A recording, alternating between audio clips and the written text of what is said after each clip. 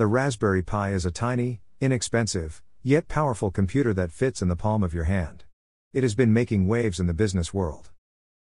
3,600 companies around the world use Raspberry Pi in their business. Almost 1,000 of them are in the US, 220 in the UK, over 200 in Germany, others are in many other countries around the world. Raspberry Pi's flexibility, low cost, compact size, make it an attractive option for various business applications including Internet of Things and Bluetooth projects. Availability of dustproof and waterproof cases makes it a viable option for many industries where these qualities are required. In this video we review Raspberry Pi based gateways we offer. We also offer iOS and Android based gateways that are reviewed in other videos. As a reminder, a Bluetooth tag, also known as a Bluetooth beacon, sends out a Bluetooth signal that can be picked up by other devices, called gateways. A gateway can determine how far this tag, and therefore the piece of equipment, is, from the gateway. It can also connect to a cloud database and make a record when this item appeared near that gateway and when it left the area so that Gateway can no longer see it. Some Bluetooth tags can work as probes and measure and transmit additional information, such as temperature or humidity.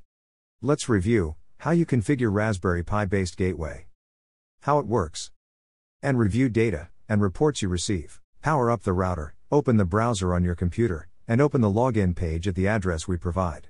Login. The first page you see after logging in is the main menu, and the first thing you need to do is to register the gateway. If the gateway was already registered, the application will pull its data from the database and you will be able to review and modify it.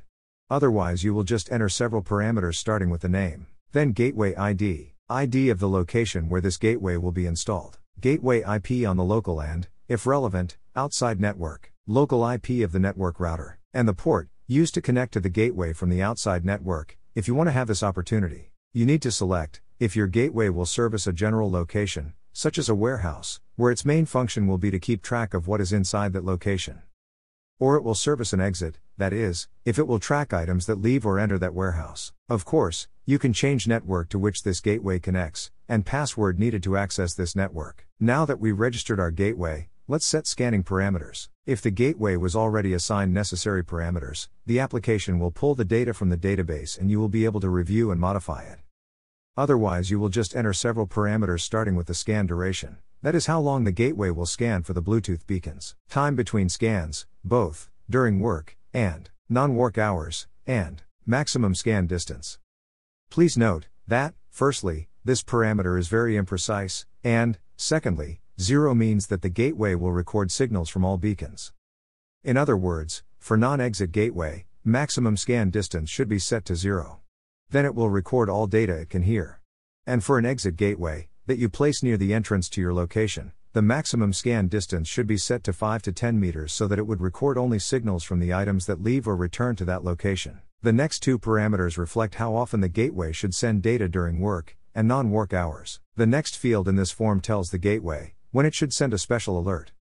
There are five parameters Gateway can alert you about when any beacon appeared within a scanning distance, when a beacon disappeared from a scanning distance, etc. The next two fields assign minimum and maximum beacon major numbers. These numbers work as identification that you can set for each beacon.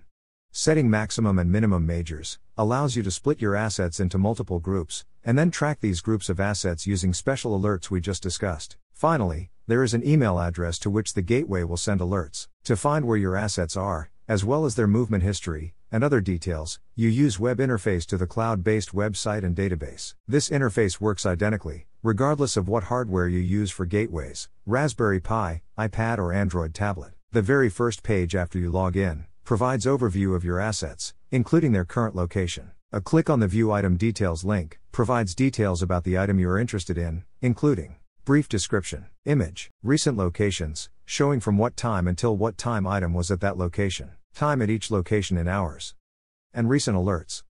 There are also multiple reports that provide you detailed information on assets location and count, assets movements, usage, and alerts, including asset utilization and missing assets, details on asset movement through exits and entrances, including asset discrepancies. If you have temperature and humidity sensors, you will also have detailed temperature and humidity information. If you are interested in tracking assets using Bluetooth and want to learn more, please contact us through our website or call 208 806 3300. We are located in beautiful Boise, Idaho. It's a mountain time zone.